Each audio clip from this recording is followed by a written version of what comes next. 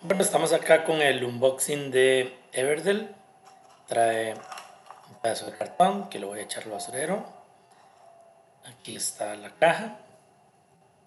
Como se puede ver, es una caja. Ya la saqué de la otra caja.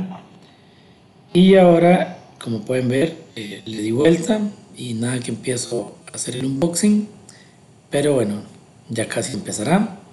Aquí explica cómo guardarlo, por si uno no le da la cabeza para hacerlo. Estos son los componentes. Otro día los destroquelo. Están muy bonitos. Como cualquier juego que trae cosas de cartón. Bueno, ya los vieron.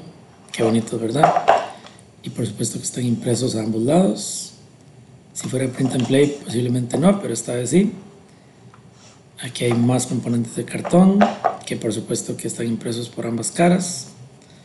Qué bonitos, ¿verdad? Que están monedas y otras cosas que todavía no sé para qué sirven porque no me he leído las reglas. Y algunas tienen algo por detrás y otras no. Aquí estoy enfocando tan de cerca que no se entiende y estoy tratando de sacar algo por debajo del plástico. Ahorita me doy cuenta que puedo quitar el plástico y sacarlo. Y el plástico trae una mariposa y otra mariposa y más cosas lindas. Espero que les haya gustado.